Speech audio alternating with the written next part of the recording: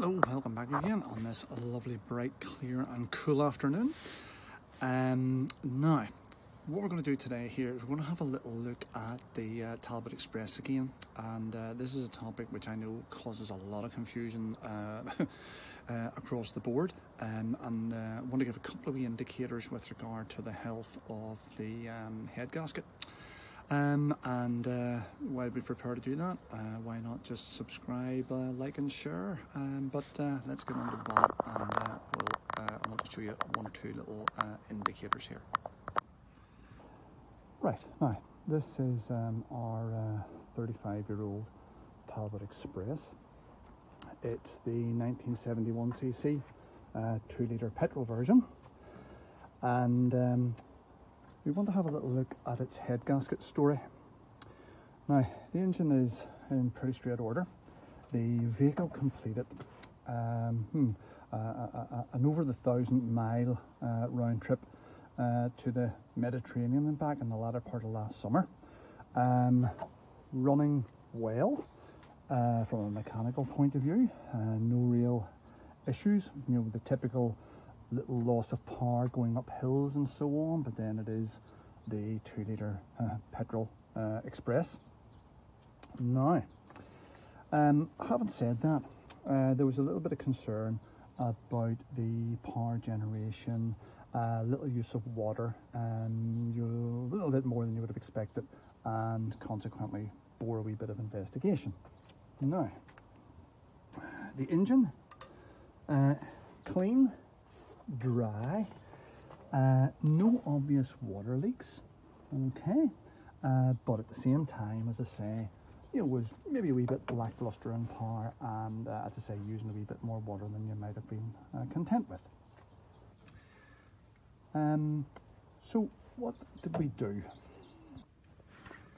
Okay, so the uh, first thing we wanted to do uh, was to get a look at the the oil. Now, the cap off and you can immediately see that we've got some uh, gungy residue in there. Uh, if we have a look at that, uh, I'm going to try and get that to the point we can see it. There we go. Uh, so what we're seeing there is the usual sludge um, as a result of um, a bit of water in there. So without shadow of a doubt, you know, we've got some sort of uh, oil and water mix going on uh, and obviously not a, a particularly good scenario uh, to start with, but I would have to say that that particular symptom um, is much more recent than uh, the symptoms described during the journey, you know, with a, a wee bit of water loss primarily being the, the main um, cause of concern. Obviously, things have been developing. Then, decided to have a bit of a closer look at this water at loss. And say, even though it wasn't that significant, engine still dry, no trouble.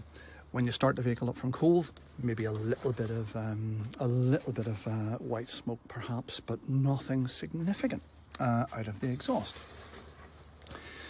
So I um, got uh, the old uh, water pressure kit.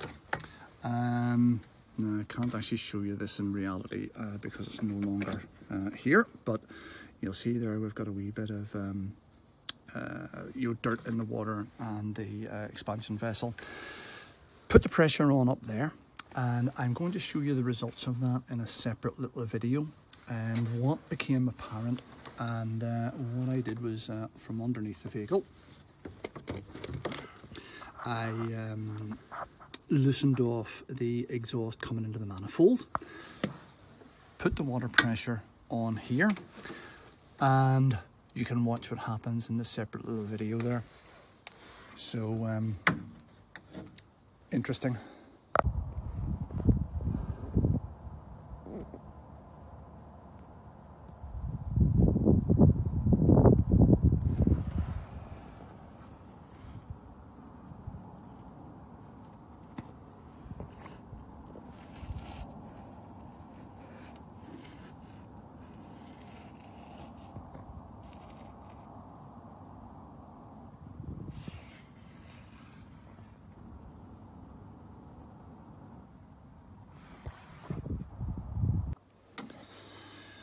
So I think it's fair to say then uh, that we certainly have an issue with regard to the head gasket on the vehicle. So after we get um, the, uh, the heater repair completed and heater matrix back in, then we're going to start to strip the head and redo it. But worth noting that the, um, the issues and the, uh, the symptoms were fairly subtle. Smooth running, um, no issue uh, with driving around in the roads, um, but a little bit high water use, um, demonstrated obviously by the fact that the, the, the gasket has cracked somewhere along the way and it's releasing water down into the uh, outlet manifold and down the exhaust. And then, as I say, in more recent times, you can see the clear indication of the water mixing the oil. Um, so, head gasket, mm, sometimes a bit more subtle uh, than just a blown gasket and sitting at the side of the road not going anywhere. Uh, so, as always, worth monitoring quality of oil, cleanliness of the water, and um, keep an eye out for those unusual habits that your vehicle doesn't usually have. Uh, so I hope that has been in some way useful. Um, and uh, as we start the project of doing the head gasket, uh, we'll um, keep you posted. Uh, so in the meantime, uh, as always, uh, do do do subscribe, do like, and do share. All right. Thank you very much. Bye.